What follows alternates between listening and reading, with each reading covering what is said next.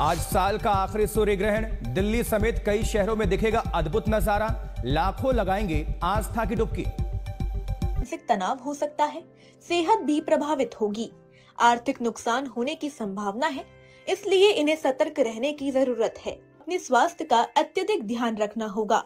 आर्थिक स्थिति बेहतर नहीं रहेगी क्योंकि इस दौरान चुनौतियों का सामना करना तो हालेलुया सबको जय मसीह की। कैसे हैं आप सब? आशा करता हूँ सुरक्षित होंगे। मेरे भाई बहनों हम आज एक विषय के बारे में बात करना चाह रहे हैं। वो प्रभु का संकेत है। परंतु आज अगर हम उसे समझेंगे तो शायद हम प्रभु को जान जाएँगे। तो इस वीडियो को देखें और जानें और पहचानें कि प्रभु हमसे किस तरह से और क्या समझा जाता है। सो so, सब्सक्राइब करना लाइक करना और पूरा देखना। आज साल का आखिरी सूर्य ग्रहण दिल्ली समेत कई शहरों में दिखेगा अद्भुत नज़ारा। लाखों लगाएँगे आस्था की डुबकी। आखिरी सूर्य ग्रहण, चार बजकर उन्नीस वक्त, ये वो वक्त जिसका इंतज़ार हो रहा था। अमृतसर में सबसे पहले सूर्य ग्रहण जो है भारत में दिखेगा। भारत में ये जो साल का आखिरी सूर्य ग्रहण है, जिसका योग आप समझिए, करीब 1300 सालों में ऐसा योग नहीं बना है। और आज वो योग जब भारत में साल का आखिरी सूर्य ग्रहण दिखना शुरू हो गया है। अमृतसर से अब से थोड़ी देर में जैसे तस्वीरें आती वो तस्वीरें भी आपके सामने रखेंगे, लेकिन देखिए ये तैयारियाँ भी साथ साथ हम आपको दिखा रहे हैं कि लोग अपने छतों पर पहुँच गए हैं। सूर्य ग्रहण को अपनी आँखों से देखने की कोशिश में जो जिस जिस तरीके की बातें, जैसे जिन चश्मों का इस्तेमाल आपको करना है, टेलीस्कोप का आपको यूज़ कर तो देखा मेरे भाई बहनों आज एक ग्रहण है, जिसे हम अगर आत्मिक तरीके से बोले और वैज्ञानिक तरीके से बोले तो एक चक्र है। और आज एक सूर्य के ऊपर एक काली सी छाया है। परंतु इस छाया को अगर हम अपनी व्याख्या करें तो हो सकता है कि मैं कुछ और बोलूँगा। उसी प्रकार पूरी दुनिया उसकी कई कई व्याख्या कर रही है। परंतु सच्चाई क्या है? वो परमेश्वर की क्रिया है। वो परमेश्वर का किया हुआ काम है। जिसे हम समझें तो वैज्ञानिक रूप से सिर्फ़ एक सूर्य है। और सूर्य के आसपास पृथ्वी है और पृथ्वी के आसपास जो है चंद्रमा।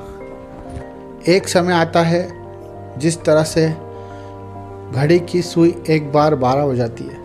उसी प्रकार एक साथ वो तीनों एक लेयर में हो जाते हैं और उस लेयर में होने में उन्हें सालों लग जाते हैं। परंतु उसको हम ये नाम दे देकर कि इससे हमारे जीवन में फ़र्क पड़ेगा, इससे हमारे हमारे घृण लग जाएगा अगर हम बाहर चले गए, मंदिर मस्जिद बंद हो गए, हर एक काम बंद हो गया, हर एक चीज़ बंद करके आज लोगों को भरमाया जा रहा है।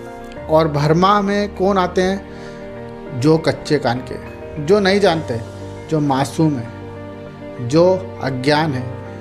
अज्ञानता के कारण वो ना ना जाने कहाँ पहाड़ों पे चढ़ रहे हैं और कोई नदियों में कूद रहा है।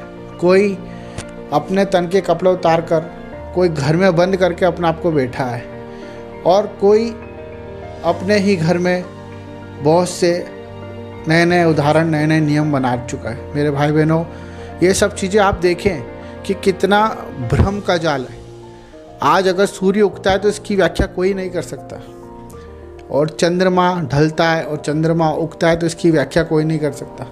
परंतु एक प्रक्रिया सर्विस, एक प्रक्रिया ईश्वर की हुई तो उसमें हमारी व्याख्या की गई। हम अपनी अपनी राय दे रहे हैं और लोगों को डरा रहे हैं। ये ग्रहण केवल इंडिया में नहीं है। ये पूरी पूरी कायनात में, पूरे वर्ल्ड में है। और ये सब कुछ ईश्वर की मर्ज़ी है। और ये हमें समझना, हमारे जीवन में भी हम पे ग्रहण लगे हुए हैं। कई दफ़ा हमारे घर में जाले पड़ जाते हैं। कई जगह हमारे जीवन में जाले पड़े हुए हमारे कामों में जाले पड़े हुए मतलब ईश्वर उसे हमें साफ़ करने की शिक्षा दे रहा है। जिस तरह से वो अपनी चाल चल रहा है, हमें भी उसके साथ चलना है। जिस तरह से वो हमें समझाता है, आकाश के पंछियों को देखो। वो ना, वो कोई सरहद नहीं देखते, वो कहीं भी जा सकते हैं। पानी की कोई सीमा नहीं, बादल बादल को कोई नाप नहीं सकता। और उसी प्रकार सूर्य को और चंद्रमा को और पृथ्वी को कोई अपने हिसाब से चला नहीं सकता, मेरे भाई बहनों इस चीज़ को क्यों?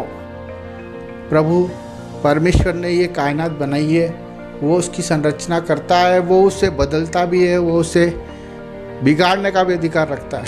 परंतु हमें इन चीज़ों से दूर रहना है। कोई भी हो, हिंदू, मुस्लिम, सिख, ईसाई, हर एक भाई बहनों को मैं यही बताना चाहता हूँ कि अपने आप को सुधारें। इन बातों में ना आए, क्योंकि इन बातों से आप अपने परिवार की जिम्मेदारियों से दूर हट जाएँगे। आप शैतान की बातों में आ जाएँगे, आप अपने परिवार का बुरा कर लेंगे।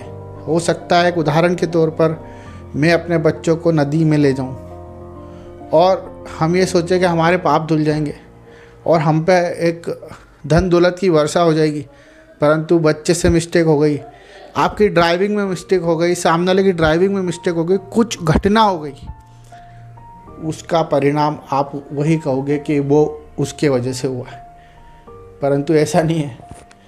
हमें वैसे ही चलना ईश्वर ने हमें चलना सिखाया है। हमारी चाल हमें बताई है, हमें उसी प्रकार चलना है। ईश्वर को जो काम करना है, करने दें। उसके वचन के अनुसार वो प्रतिदिन सब पे निगरानी रखता है।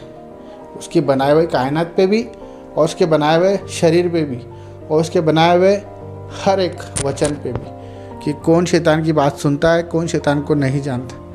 हम क्यों भटके हुए हैं? यही हम में कमी है कि आज हम सबसे पीछे हो जाते हैं। हम किसी का कहना सुनते हैं। हम क्यों ना पढ़ें, क्यों ना जानें, क्यों ना रिसर्च करें कि ये सब चीज़ें क्या है। विज्ञान क्या कह रहा है? आप विज्ञान के ऊपर ध्यान दें।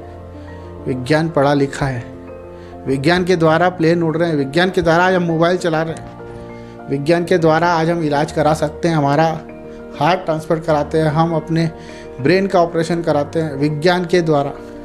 क्योंकि विज्ञान ईश्वर ने बनाया परंतु विज्ञान पढ़ने वालों को ये समझ ईश्वर देता है। तो हम उस समझ से चले कि अगर हम प्लेन में बैठे तो उसकी व्याख्या पहले जान लें। उसी प्रकार से हमें समझना मेरे भाई बहनों कि ग्रहण भ्रहण कुछ नहीं होता।